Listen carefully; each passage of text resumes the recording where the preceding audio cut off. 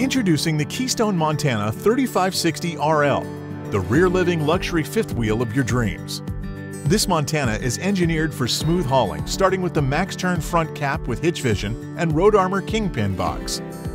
The coach also features a Road Armor suspension package with 16-inch G-Range tires, Mor/Ryde step above aluminum steps, and an extra large door with friction hinges. The high-gloss sidewalls are accented with frameless safety glass windows, and exterior entertainment features include a 17-foot power awning and marine-grade speakers. The Montana 3560 RL comes pre-wired for a backup camera and is predestined for rough terrain thanks to the easy-to-use 6-point hydraulic automatic leveling system. Store anything from gear to personal luggage in the enormous drop frame pass-through storage compartment and enjoy easy maintenance thanks to the full-length ladder, walkable roof, and centralized utility panel with city water and satellite connections. Inside the coach, you'll find a spacious living area that features vaulted ceilings with LED lit crown molding and 6 foot 6 inch tall main slide outs.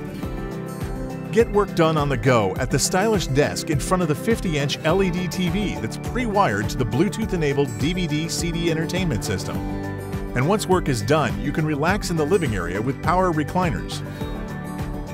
The kitchen boasts solid surface countertops with a tumbled stone backsplash and an 18 cubic foot four-door refrigerator.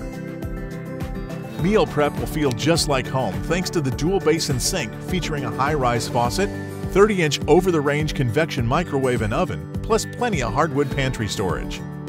The porcelain step flush toilet complements the oversized skylight shower and vanity featuring an undermount sink.